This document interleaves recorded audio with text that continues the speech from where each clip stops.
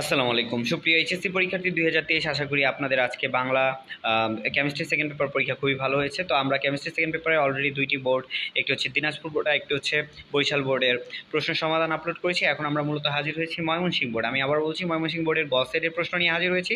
আমরা খুব দ্রুত এই ময়মনসিংহ বোর্ডের গ সেটের উত্তরগুলো রানা স্টিচিংয়ের পক্ষ থেকে আপনাদের বলে দিব। একের হচ্ছে পৌষ্টিক সোডা দুইয়ের হচ্ছে গ, তিনের হচ্ছে গ, চারের হচ্ছে খ পাঁচের হচ্ছে আমাদের এখানে একটা নোট দেওয়া আছে, আপনারা নোটটি দেখে নিতে পারেন।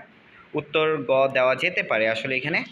তারপরে ছয়ের হচ্ছে ঘ, সাতের হচ্ছে ঘ, আঠের হচ্ছে গ, নয়ের খ, দশের গ, এগারোর ক।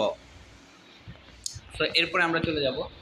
বারোর হচ্ছে খ, তেরোর গ, চোদ্দোর হচ্ছে গ পনেরো হচ্ছে এক, দুই, তিন পনেরো এক, দুই, তিন, ষোলোর হচ্ছে চোদ্দোশো ছিয়ানব্বই, সতেরোর ক আঠারোর ঘ, উনিশের হচ্ছে ঘ, বিশের ঘ, তারপর হচ্ছে একুশের হচ্ছে ঘ, বাইশের হচ্ছে খ, তেইশের হচ্ছে খ, চব্বিশের হচ্ছে ক, পঁচিশের হচ্ছে খ।